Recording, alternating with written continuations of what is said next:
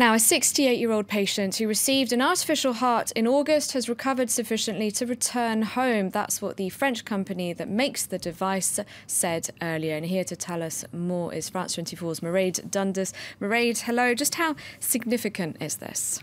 Well, in the words of Alain Carpentier, now that's the surgeon and the creator or inventor of this device, this case is incredible. This patient is a miracle. But other cardiologists have also backed him up. They're describing it as a groundbreaking technical feat. What we have is a patient who was in the advanced stages of heart failure, who back in August last year received this artificial device. It's now five months later, and he's deemed well enough to go home. So well that they're saying that he can move around freely. He's resuming what the doctors are calling a normal life. There's talk of him driving to his son's to have lunch. There's talk of him on an exercise bike that's really giving an idea of just how well he's doing. His heart doesn't function on its own, though. However, it's a um, powered by a lithium battery pack that's attached to his waist. It weighs around three kilograms. We can see it there. That's something he needs to carry with him all the time.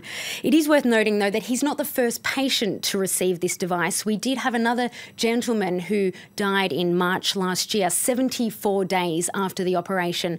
No one knows quite sure why. Obviously, the researchers are being a little more cautious this time, waiting five months before announcing the success, you might say, of the trial. And while today's case, it is a one off and it is very early, you can't help but think about the tens of thousands of people who could potentially benefit from this kind of technology. So, where to from here then for the French company uh, Carmat? Well, we certainly won't be rushing out to buy this over the counter just yet. As I mentioned, this is the second patient to trial the device. They've got an initial trial of just four. If all goes well, they'll open that up to another 20 participants. It's worth noting that the criterion for success is 30 days of survival after the operation. So, in fact, the first case was deemed successful. He lived for two and a half months.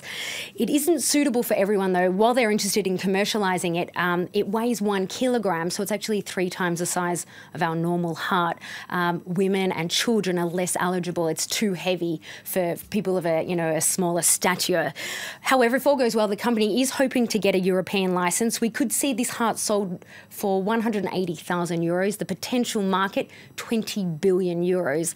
And not surprisingly, this morning, as soon as this was announced, shares in Carmat, the company behind it, went up 23%. So there's a lot of people keeping their eyes on this. Absolutely. All right. Thank you very much indeed, Mairead.